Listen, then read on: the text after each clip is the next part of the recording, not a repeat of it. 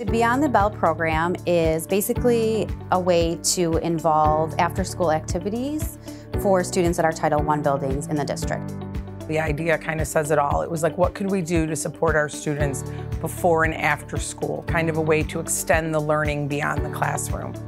So each student received a bag full of supplies, and most of the supplies are their hands-on supplies that the kids can really touch and work with. Once you have the tools in their hands and you give them the time and the opportunity to explore on their own, they're going to start asking questions and they'll want to answer them right away. We have 219 students between Longwood and Georgetown, which we are thrilled about, especially because we're starting the clubs virtually.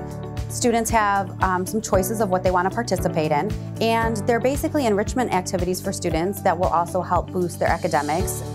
Beyond the Bell, I think, has shown how we are, and our students are very resilient and very flexible, you know, that we're doing this through Zoom. And I think it says a lot that our students are really motivated to learn.